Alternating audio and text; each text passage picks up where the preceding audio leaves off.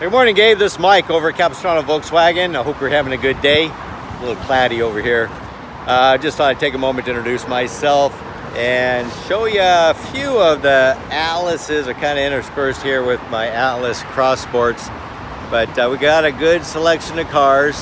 Um, happy to show you around.